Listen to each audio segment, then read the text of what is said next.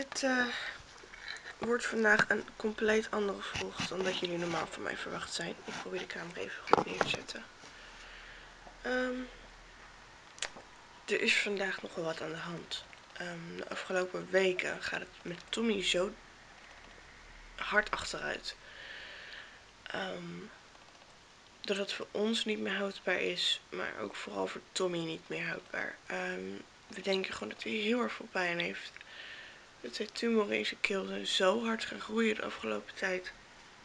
Dat ze gewoon groter zijn geworden. Um, dus we hebben afgelopen dinsdag besloten om Tommy te laten inslapen. En die dag zal vandaag zijn. Um, afgelopen tijd heb ik het besef nog niet gehad dat hij daadwerkelijk vandaag zou ingeslapen worden.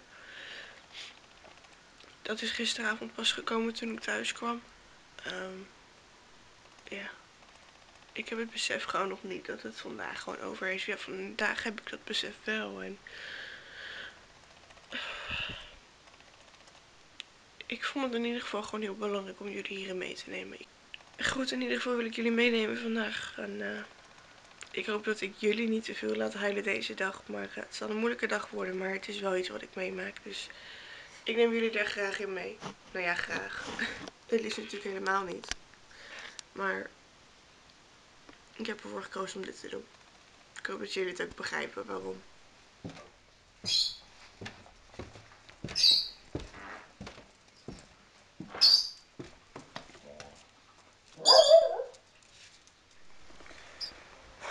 Goed. Onderweg naar school. Uh, toen ik beneden kwam net, toen brak ik wel weer even. Het begint nu allemaal echt goed door te dringen dat het, als ik vanmiddag thuis kom, twee, drie uurtjes is voordat hij er niet meer rondloopt. En dat besef, dat komt nu gewoon heel erg pas. Ik weet niet waarom dat zo laat bij mij is gekomen dit keer, maar misschien dat ik het niet wil geloven, dat kan ook.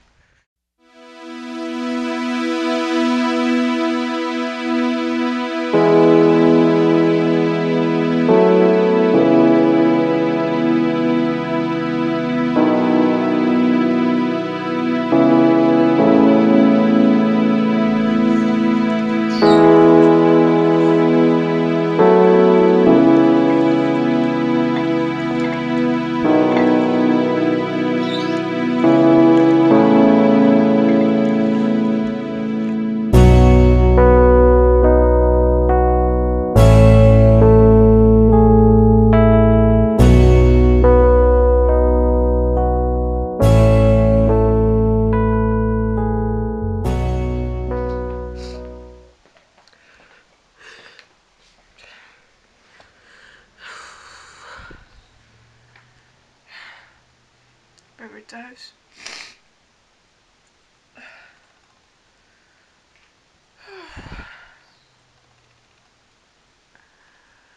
Het komt nu allemaal heel erg dichtbij. Het is nu kwart voor twee. Dus uh, drie en half vier ongeveer. Dan is de dierenarts hier.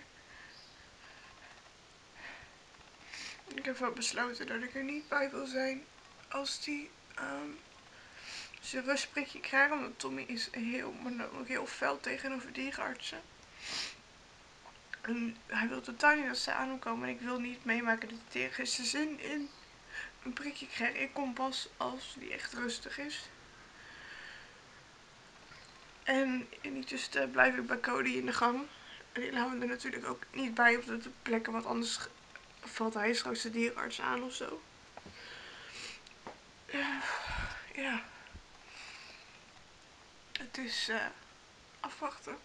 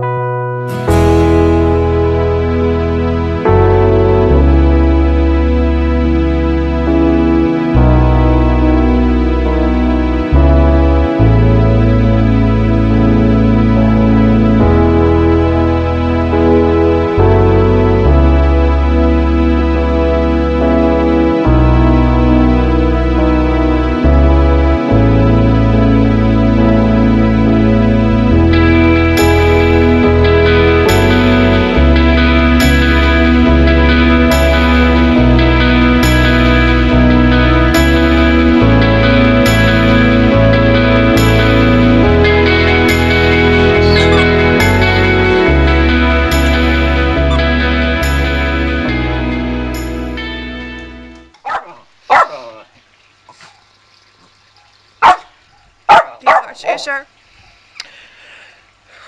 Ze kijkt hem alsnog nog even na en dan is klaar. Maar Oh, die is niet meer eens.